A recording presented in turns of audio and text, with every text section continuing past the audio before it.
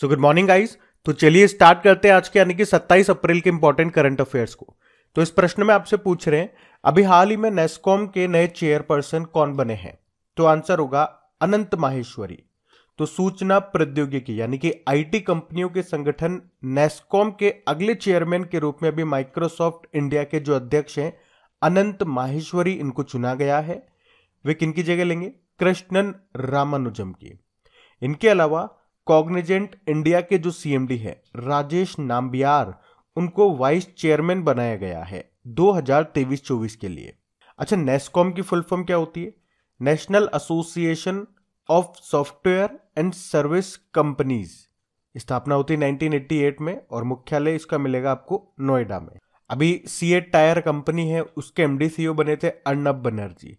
TCS के CEO बने थे के कृतिवासन। और एसोचेम के नए अध्यक्ष कौन बने थे? अजय सिंह बने थे।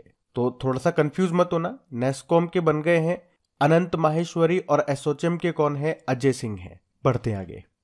चलिए फिर बताइए। अभी हाल ही में टी ट्वेंटी क्रिकेट में सबसे तेज 200 विकेट लेने वाले गेंदबाज कौन बन गए? तो आंसर होगा शाहीन अफरीदी।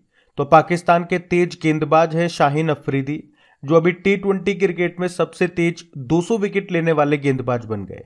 उन्होंने अपने एक वे टी ट्वेंटी मैच में ये उपलब्धि हासिल की है।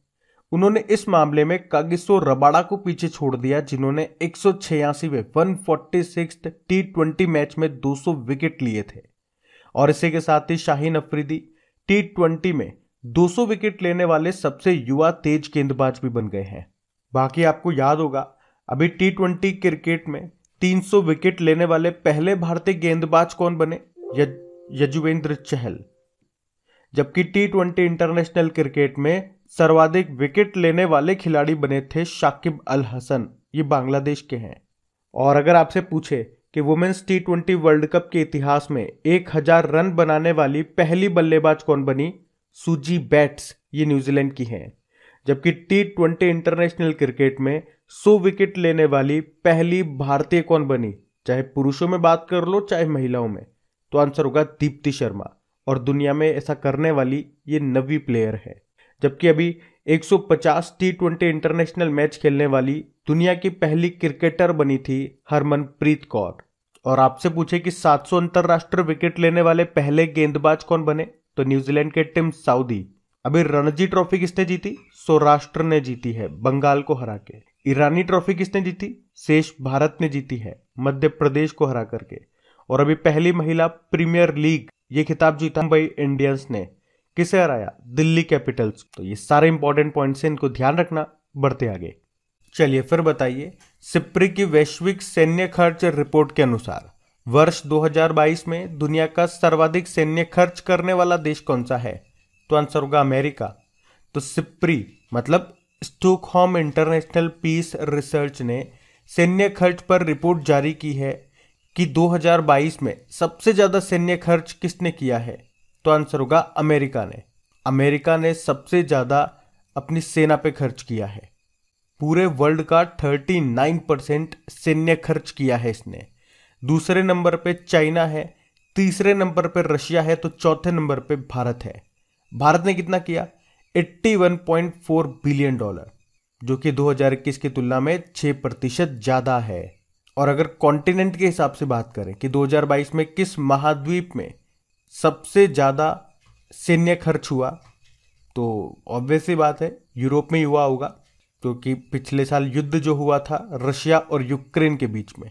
अच्छा इसी तरह से आपको याद आएगा, अभी 2023 में ही सिप्री की एक रिपोर्ट आई थी और उसमें बताया था कि 2018 से लेकर 2022 की अवधि में हथियारों के आयात, यानी कि इंपोर्ट के मामले में टॉप पे कौन सा देश है? तो आंसर होगा भारत है। दूसरे नंबर पे है सऊदी अरब। तो ये पॉइंट भी ध्यान रखना। कुछ इंपॉर्टेंट इंडेक्सेस और रैंकिंग के बारे में आपको रिवाइज कराऊं। तो एक तो, वर्ल्ड हैप्पीनेस रिपोर्ट याद रखना जिसमें भारत 126 नंबर पे है तो टॉप पे फिनलैंड है। वैश्विक आतंकवाद सूचकांक में टॉप पे अफ़गानिस्तान है तो भारत तेरहवा सबसे प्रभावित देश रहा। और आ, इंडिया जस्टिस रिपोर्ट 2022 में कर्नाटक टॉप पर है अभी राज्य ऊर्जा दक्षता सूचकांक 2022 आया। उसमें टॉप पे है आंध्र प्रदेश। और दुनिया के सबसे धनी शहरों की सूची आई है। उसमें टॉप पर है न्यूयॉर्क अच्छा भारत के लिए दूसरा सबसे महत्वपूर्ण निर्यात गंतव्य देश कौन सा है? मतलब भारत सबसे ज़्यादा एक्सपोर्ट किसको करता है? उस मामले में दूसरे स्थान पे पूछ रहे हैं। तो पहले स्थान पे तो अमेरिका है। दूसरे स्थान पे यूनाइटेड अरब अमीरात है। और अगर पूछे कि भारत के किस ज़िले से सर्वाधिक व्यापार होता है या किस ज़िले ने सबसे ज़्यादा एक्सपोर्ट किया? चलो, इस प्रश्न का उत्तर आप ही लोग दो। और अभी आपने पढ़ा था, जल शक्ति मंत्रालय ने जल निकायों यानी कि वाटर बॉडीज की पहली गणना की है। तो देश में सबसे ज़्यादा वाटर बॉडीज निकाय या जल स्रोत ये किस राज्य में है? तो आंसर होगा पश्चिम बंगाल में। और हुरन ग्लोबल यूनिकॉर्न इंडेक्स 2023 में भारत कौन से स्थान पर है? तीसरे स्थान पर है। पहले पे अमेरिका है, दूसरे पे चाइना है। और अभी देश में डिजिटल तरीके से लेन देन करने वाले शहरों की सूची आई, जिसमें टॉप पर रहा बंगलुरु। तो ये कुछ इंपॉर्टेंट इंडेक्सेस है, इनको ध्यान रखना, पढ़ते आगे। चलिए फिर बताइए, अभी हाल ही में उद्योग और आंतरिक व्यापार संवर्धन विभाग के सचिव कौन बने हैं? तो आंसर होगा राजेश कुमार सिंह। तो अभी राजेश कुमार सिंह को department for promotion of industry and internal trade का सेक्रेटरी बनाया गया है। यानी कि उद्योग और आंतरिक व्यापार संवर्धन विभाग के सचिव। वैसे आपको बता दूँ कि 2019 में औद्योगिक नीति और संवर्धन विभाग का नाम बदलकर उद्योग और आंतरिक व्यापार संवर्धन विभाग कर दिया गया। बाकी अभी बांग्लादेश के प्रेसिडेंट बन चुके हैं मोहम्मद शाहबुद्दीन, अभी औषधि महानियंत्रक, drug controller general of India बने थे डॉक्टर राजीव सिंह रघुवंशी। तेलंगाना की पहली महिला मुख्य सचिव बनी है शांति कुमारी इनका नाम है। तो ये न्यूज़ में थे, नाम इनको ध्यान रखना, बढ़ते आगे। चलिए, फिर बताइए, अभी मई 2023 में क्वाड लीडर्स समिट की मेजबानी कौन सा देश करेगा? तो आंसर होगा ऑस्ट्रेलिया। तो अभी ऑस्ट्रेलिया के जो प्रधानमंत्री हैं, एंथनी एल्बनीज उन्होंने कहा कि ऑस्ट्रेलिया अभी 24 मई 2023 को क्वाड लीडर्स समिट की मेजबानी करेगा। ये बैठक सिडनी में होगी और ये पहला मौका होगा जब ऑस्ट्रेलिया इस सम्मेलन की मेजबानी करेगा या इसका आयोजन करेगा। और वैसे आप देखोगे तो ये क्वाड देशों की तीसरी बैठक होगी।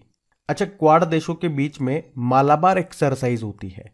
और कई बार हम लोग पढ़ चुके हैं कि इस साल जो मालाबार हो एक्सरसाइज है, उसका आयोजन ये ऑस्ट्रेलिया ही करेगा। और ऑस्ट्रेलिया से ही आपको याद दिला दूँ दो पॉइंट और कि 2026 में जो कॉमनवेल्थ गेम्स होंगे, उसका आयोजन भी, उसको भी होस्ट करेगा ऑस्ट्रेलिया। और 2032 में जो ओलंपिक होंगे समर ओलंपिक, उसका आयोजन भी होगा ऑस्ट्रेलिया में, ब्रिस्बेन, ऑस्ट्रेलिया में। उसके अलावा आपको बता दूँ कि 2023 में जो पंद्रवा ब्रिक्स सम्मेलन होगा, उसका आयोजन करेगा साउथ अफ्रीका। 2022 में जो कोप 27 हुआ था, उसका आयोजन किया था मिश्र ने इजिप्ट में। कहाँ पे हुआ था वो? इजिप्ट के शर्म अल शेख नाम के स्थान पे। 2023 में कोप 28 का आयोजन, ये यूनाइटेड अरब अमीरात करेगा। आपको याद है, अभी 2023 में सत्रहवा प्रवासी भारतीय सम्मेलन ये इंदौर में हुआ था, जिसमें चीफ गेस्ट कौन थे? गुयाना के प्रेसिडेंट मोहम्मद इरफान। 2023 में विश्व हिंदी सम्मेलन का आयोजन कहाँ पे? फिजी देश में। और अभी अंतर्राष्ट्रीय व्यापार मेला, इंटर अल्पाइन 2023 का आयोजन हुआ, ऑस्ट्रिया में। लेकिन याद रखना, अगर आपसे पूछे कि अंतर्राष्ट्रीय पर्यटन व्यापार मेला फितूर 2023 का आयोजन कहाँ हुआ तो आंसर होगा मैड्रिड, स्पेन में। तो ये पॉइंट्स भी ध्यान रखना, बढ़ते आगे। चलिए, फिर बताइए, किस राज्य का माणा गाँव अब देश का पहला गाँव बन गया? तो आंसर होगा उत्तराखंड। देखो, वैसे तो अभी तक ये जो माणा गाँव है, इसको कहा जाता था भारत का आखिरी गाँव। पर अभी जब प्रधानमंत्री नरेंद्र मोदी यहाँ पे गए तो उन्होंने कहा कि भारत का आखिरी गाँव नहीं है ये, बल्कि ये भारत का पहला गाँव है। आप तो जानते ही हो प्रधानमंत्री नरेंद्र मोदी को, बातों से लोगों का दिल जीत लेते हैं। कुछ करने की ज़रूरत ही नहीं पड़ती। तो भारत सरकार की एक योजना भी है वाइब्रेंट ग्रामीण प्रोग्राम उसके तहत इसे पहला भारतीय गाँव के रूप में मान्यता दी गई। अच्छा ये जो वाइब्रेंट ग्रामीण कार्यक्रम है, इसका उद्देश्य क्या है? सीमावर्ती गाँव का विकास करना और ग्राम वासियों के जीवन की गुणवत्ता में सुधार करना। अच्छा वैसे उत्तराखंड को तो हम कई बार पढ़ चुके हैं। यहाँ पे कुछ इंपॉर्टेंट गाँव, कुछ इंपॉर्टेंट विलेजेस की हम बात करते हैं जो अक्सर न्यूज़ में रहते हैं। जैसे कि अगर आपसे पूछा जाए, देश का पहला बायो विलेज कौन बना? तो आंसर होगा त्रिपुरा का दासपारा गाँव। अगर आपसे पूछे कि देश की पहली कार्बन न्यूट्रल पंचायत कौन सी बनी तो जम्मू कश्मीर का पल्ली गाँव। देश का पहला 24 फोर इंटू सेवन सौर ऊर्जा संचालित गाँव कौन सा बना? तो आंसर होगा गुजरात का मोडेरा गाँव। अगर आपसे पूछे कि हर घर में आर वाटर पहुँचाने वाला पहला गाँव कौन सा है तो आंसर होगा उत्तर प्रदेश का भरतोल। अगर आपसे पूछे कि देश का पहला सैनिटरी नैपकिन फ्री विलेज कौन सा बना तो आंसर होगा, केरल का कुंभ लांगी गाँव। अगर आपसे पूछे कि जम्मू कश्मीर का पहला दूध गाँव कौन सा बना तो आंसर होगा जम्मू कश्मीर का जेरी गाँव। और अगर आपसे पूछे कि देश का पहला जिला जिसके हर गाँव में पुस्तकालय है, ये कौन सा बना, ये झारखंड का जामताड़ा जिला। तो ये सारे इंपॉर्टेंट क्वेश्चन हैं, इनको ध्यान रखना, आप बढ़ते आगे। चलिए फिर बताइए, अभी हाल ही में मध्य प्रदेश में बरखेड़ा पठानी का नाम बदलकर किसके नाम पे कर दिया गया? तो आंसर होगा लाल बहादुर शास्त्री। तो अभी मध्य प्रदेश के बरखेड़ा पठानी का नाम बदलकर पूर्व प्रधानमंत्री लाल बहादुर शास्त्री के नाम पे कर दिया गया। अब वैसे बात तो यहाँ पे मध्य प्रदेश की भी है। मध्य प्रदेश हम कई बार डिस्कस कर चुके हैं तो आज हम यहाँ पे क्या करेंगे? जो भी अभी इंपॉर्टेंट नाम चेंज हुए हैं, उनको हम रिवाइज कर लेते हैं। जैसे कि अभी मुंबई के चर्च गेट रेलवे स्टेशन का नाम सी डी देशमुख के नाम पर रख दिया गया। वे आरबीआई के पहले भारतीय गवर्नर थे। अभी मुगल गार्डन का नाम अमृत उद्यान कर दिया गया। मध्य प्रदेश के भोपाल के इस्लाम नगर गाँव का नाम जगदीशपुर कर दिया गया। और मध्य प्रदेश में जो पाताल पानी रेलवे स्टेशन है, उसका नाम तात्या मामा रेलवे स्टेशन कर दिया गया। मध्य प्रदेश के हबीबगंज रेलवे स्टेशन का नाम रानी कमलापति रेलवे स्टेशन कर दिया गया। और मध्य प्रदेश के भोपाल मेट्रो का नाम भोज मेट्रो कर दिया गया और राजपथ का नाम कर्तव्य पथ कर दिया गया और तेलंगाना ने अपने नए सचिवालय परिसर का नाम बी आर अंबेडकर के नाम पर रखा। रेलवे यूनिवर्सिटी अब कहलाती है गति शक्ति यूनिवर्सिटी। अभी अंडमान निकोबार में माउंट हेरियट, जो कि एक पर्यटन स्थल है, उसका नाम माउंट मणिपुर कर दिया गया। तो ये कुछ इंपॉर्टेंट नाम चेंज हुए थे, नाम बदले थे, इनको ध्यान रखना, बढ़ते आगे। फिर बताइए, अभी हाल ही में तारेक फतेह का निधन हो गया, वे कौन थे? तो आंसर होगा पत्रकार। तारेक फतेह, ये पाकिस्तानी कनाडाई पत्रकार थे और अभी 73 वर्ष की उम्र में कैंसर की वजह से उनका निधन हो गया। उनका जन्म 1949 में पाकिस्तान के आज़ादी के तुरंत बाद हुआ था और उन्होंने खुद को मिड चाइल्ड बताया। वे इस्लामी चरमपंथ और पाकिस्तानी प्रतिष्ठान के आलोचनाओं के लिए जाने जाते थे और समलैंगिक अधिकारों के समर्थक भी थे। वैसे अभी आप जानते हो पाकिस्तान के पूर्व प्रेसिडेंट परवेज मुशर्रफ का भी निधन हो गया। अभी हमने पढ़ा था पंजाब के पाँच बार के मुख्यमंत्री रहे प्रकाश सिंह बादल का निधन हो गया। कुछ और पुराने नाम अगर हम रिवाइज करें एक बार तो देश के स्टील मैन के नाम से मशहूर थे जमशेद जे ईरानी, इनका निधन हो गया। दुनिया के सबसे गंदे आदमी कहे जाने वाले अमो हाजी का निधन हो गया। वे ईरान से थे। भारतीय इंटरनेट के जनक का निधन हो गया। उनका नाम है बी के सिंघल। और राष्ट्र महिला आयोग की पहली अध्यक्ष जयंती पटनायक का निधन हो गया। एक रुपए के डॉक्टर के नाम से मशहूर थे। सुशोभन बंदोपाध्याय उनका निधन हो गया। भारत की पहली महिला कार्डियोलॉजिस्ट थी डॉक्टर एस पद्मावती, उनका निधन हो गया। और भारत की पहली महिला मनोचिकित्सक थी शारदा मेनन, उनका भी निधन हो गया। फाइबर ऑप्टिक्स का जनक किसे कहा जाता है? नरेंद्र सिंह कपानी, उनका भी निधन हो गया। और भारतीय सार्वजनिक उपक्रमों के जनक, इंडियन पब्लिक सेक्टर यूनिट्स के फादर कहे जाते थे डॉक्टर वी कृष्ण मूर्ति उनका भी निधन हो गया। तो ये नाम भी ध्यान रखना, चर्चा में थे इंपॉर्टेंट है। बढ़ते आगे। चलिए, फिर बताइए। अभी हाल ही में 2023 का इमिग्रेंट अचीवमेंट पुरस्कार किसे मिला? तो आंसर होगा नीली बेंदापुड़ी को। तो अभी पेन स्टेट यूनिवर्सिटी के अध्यक्ष भारतीय अमेरिकी नीली बेंदापुड़ी को 2023 का इमिग्रेंट अचीवमेंट पुरस्कार दिया गया। तो ये जो पुरस्कार है, ये उन व्यक्तियों को मान्यता देता है जो अप्रवासियों के राष्ट्र के रूप में हमारी विरासत के प्रति प्रतिबद्धता और समर्पण प्रदर्शित करते हैं। और नीली बेंदापुड़ी ये पहली महिला हैं जिन्होंने पेन स्टेट यूनिवर्सिटी के अध्यक्ष के रूप में भी काम किया है। आप जानते हो अभी फेड एक्स के सीईओ राज सुब्रमण्यम को प्रवासी भारतीय सम्मान मिला, उत्साह पटनायक, मेलकम आदिशेषिया पुरस्कार मिला और doctor Nithya Abraham, young urologist पुरस्कार इनको मिला। अब हम कल के करंट अफेयर्स का क्विक रिविजन करेंगे।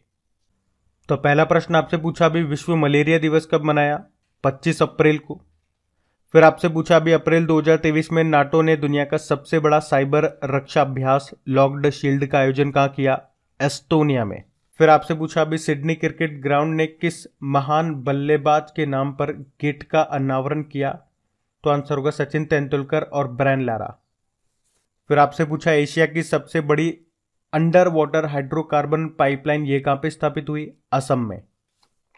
फिर आपसे पूछा, अभी प्रधानमंत्री नरेंद्र मोदी ने भारत की पहली जल मेट्रो परियोजना कहाँ शुरू की? कोच्चि, केरल में। फिर आपसे पूछा अभी किस राज्य ने अज्ञात शवों के लिए डीएनए डेटाबेस बनाकर इतिहास रचा? हिमाचल प्रदेश।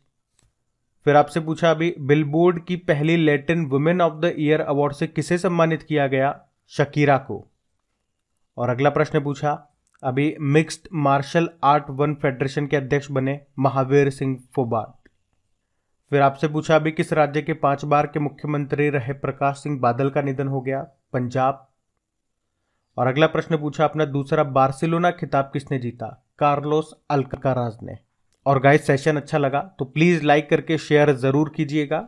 और चैनल पे पहली बार है तो इसे सब्सक्राइब करके पास में बेल आइकन को प्रेस ज़रूर कर लेना, ताकि आपको सारे नोटिफिकेशन मिल सके। अब होमवर्क प्रश्न देखते हैं और सेशन एंड करते हैं। तो कल के वीडियो में आपसे पूछा था कि गणित के लिए एबल पुरस्कार किसे मिला? तो आंसर होगा लुइस कैफर को। आप सभी ने प्रश्न का बिल्कुल सही उत्तर दिया है। अब यह रहा आज का आपका होमवर्क प्रश्न।